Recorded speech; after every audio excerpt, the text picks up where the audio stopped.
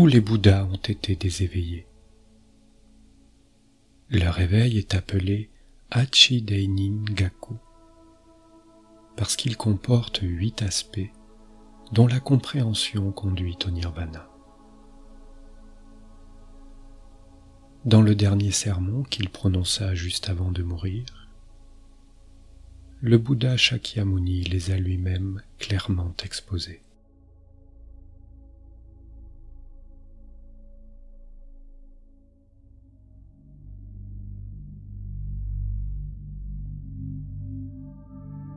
Le premier de ces aspects est d'être délivré de toute avidité, de n'avoir que peu de désirs, ce qui signifie s'être détaché des cinq désirs qui sont le désir d'appropriation, le désir sexuel, le désir de renommée, être avide de nourriture et de boisson, se laisser aller à l'apathie et à la somnolence.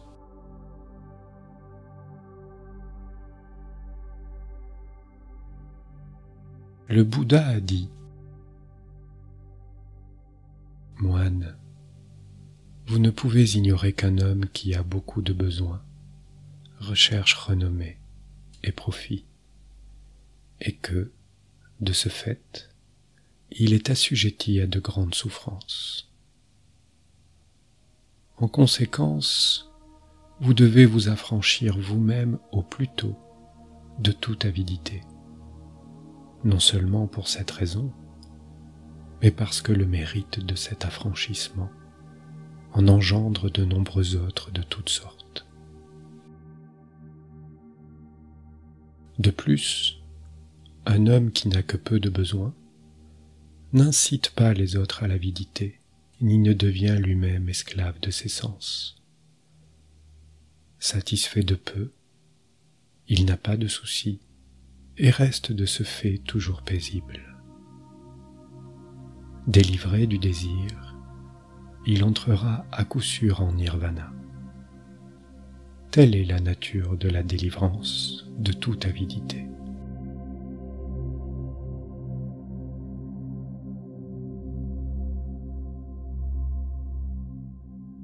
En deuxième lieu vient la satisfaction, ce qui veut dire être satisfait de ce que l'on a.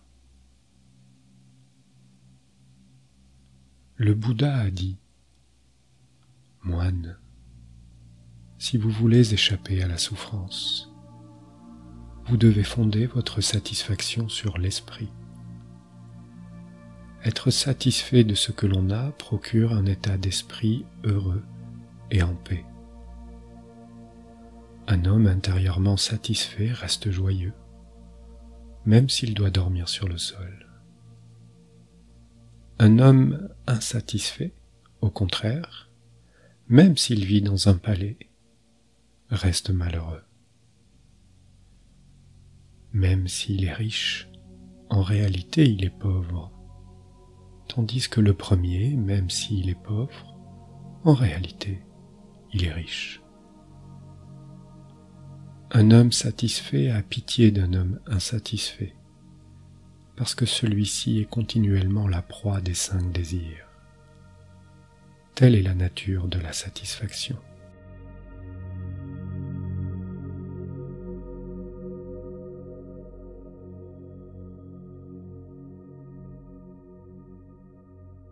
Le troisième aspect consiste à aspirer à la solitude c'est-à-dire mener une vie solitaire loin des agitations du monde. Le Bouddha a dit, Moine, si vous désirez jouir de la tranquillité du nirvana, vous devez mener une vie retirée. Un être en paix est respecté par le roi Shakendra et par les êtres célestes. Pour cette raison, vous devez rompre tout attachement à vous-même et aux autres et mener une vie solitaire, coupant de ce fait la racine de la souffrance. Ceux qui veulent vivre au milieu des autres seront troublés par eux comme un grand arbre dépéri si trop d'oiseaux se perchent sur ses branches. Les hommes ordinaires ne peuvent échapper aux différentes sortes de souffrances. Comme un vieil éléphant est incapable de se libérer lui-même une fois qu'il s'est englué dans la boue. Telle est la nature de la vie solitaire.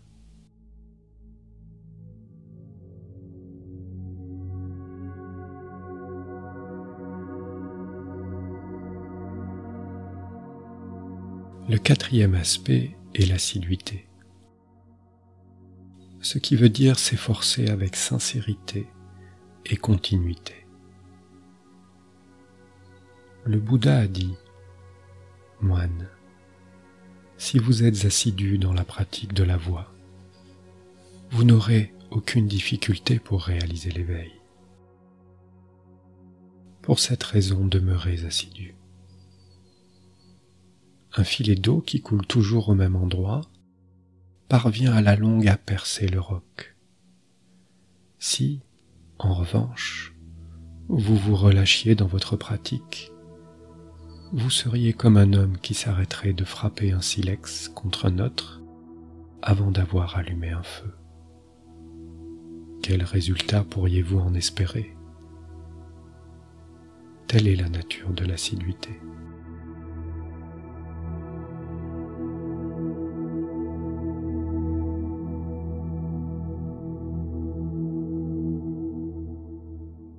Le cinquième aspect est la pensée juste que l'on appelle aussi préservation de la pensée juste.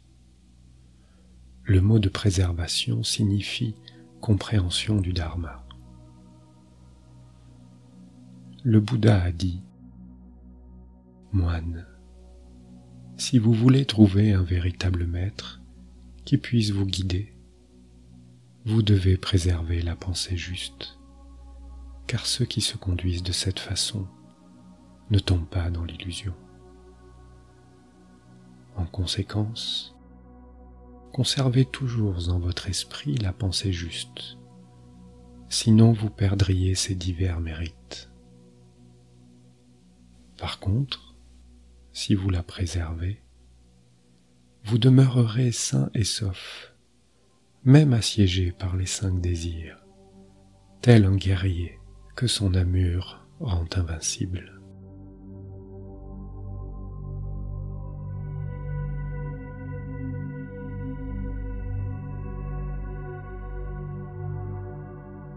Le sixième aspect est la pratique du samadhi.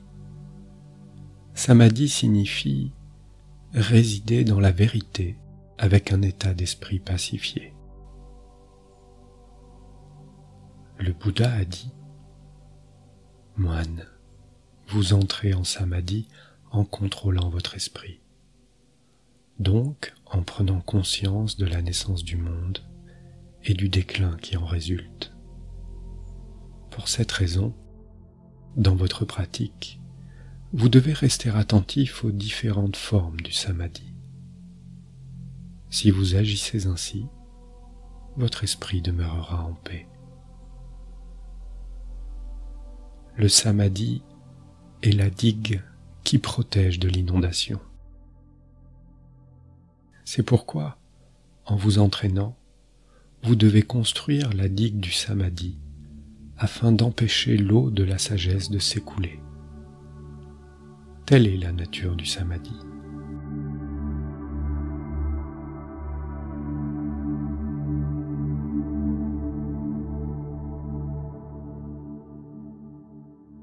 Le septième aspect est la pratique de la sagesse suprême. Cette sagesse est produite par l'éveil lequel résulte de la pratique du dharma par celui qui l'a entendu enseigner et y a réfléchi. Le Bouddha a dit, Moine, quand vous possédez la sagesse, vous êtes délivré de tout attachement à l'avidité.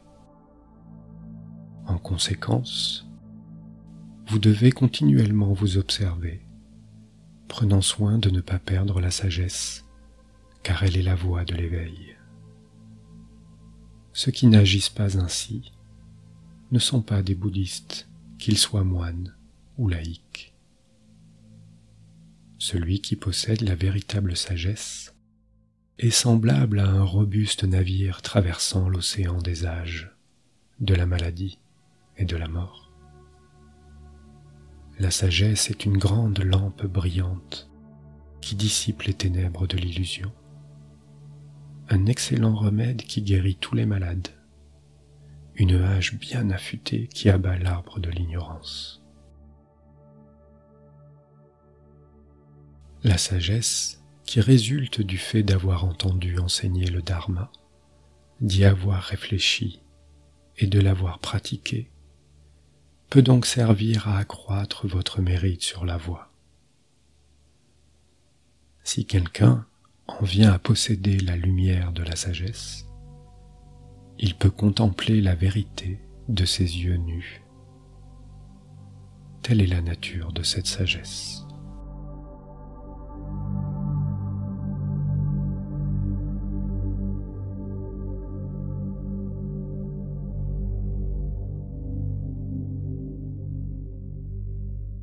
Le huitième aspect est la non-discussion, s'abstenir de parler à tort et à travers.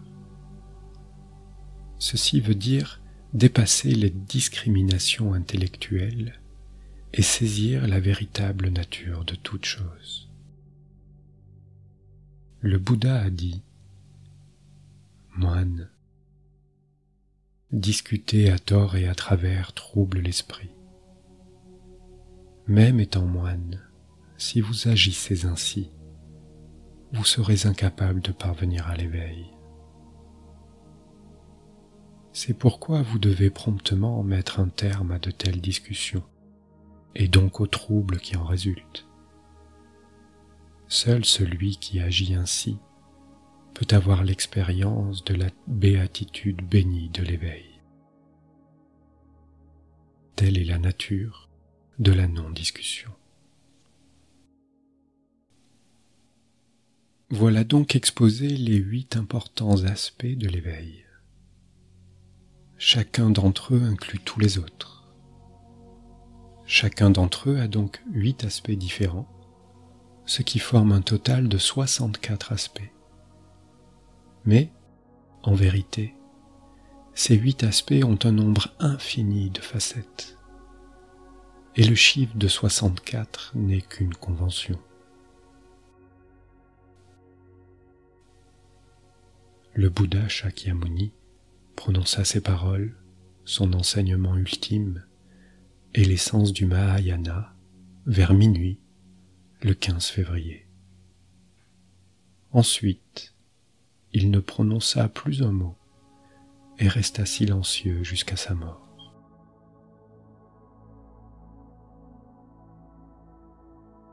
En conclusion, le Bouddha avait dit Moine, recherchez la voie avec ardeur, car toute chose en ce monde, qu'elle soit ou non éphémère, est sujette au déclin et à la destruction.